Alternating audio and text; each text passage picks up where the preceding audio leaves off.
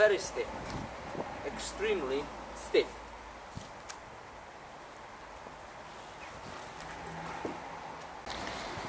Hello again, this time Cannondale 29. Let's start from the front. This is the white version and it's old. This is the old bike. It's definitely not the newest model. Elixir 9 brakes. It a decent but not great. XT shifters, very good shifters. Pretty wide handlebar, aluminum handlebar. Cannondale logo on the front. Lefty, of course, there's a rebound here, and lock mechanism. You can see it's a rebound. Just turn it around like this, and the lock mechanism works like this. You you hit it, and it's locked. Now press in the middle, and it's unlocked. Or other way around. I don't know. Don't don't really remember this. Anyway, there's the lefty. There's the disc, there's the wheels. Schwalbe tires, Racing Ralph Evo version. It's the expensive version. Sun Ringle wheels. Let's see the carbon. The fork is aluminum, but the frame is carbon fiber.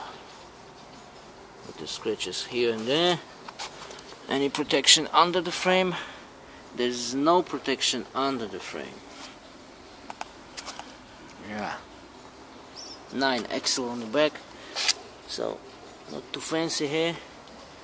Specialized seat post and saddle.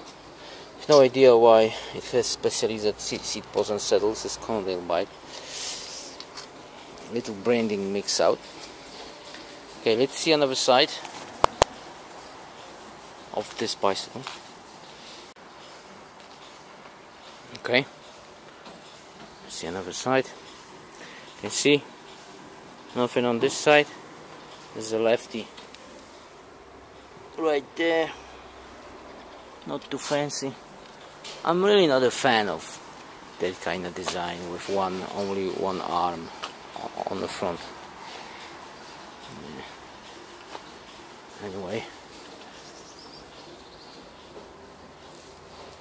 29 logo there's the crank, Truvativ crank, two discs, SRAM 7 on the front, XT on the back.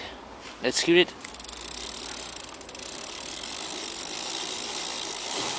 Ah, nothing special here. Okay, let's uh, put it on the scale. Let's and the scale says 11 kilograms, 120 grams. So 11 on the front.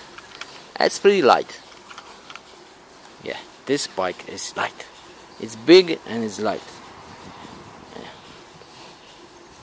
but the ride isn't great I'm not really a fan I, I already said that of those uh, lefty forks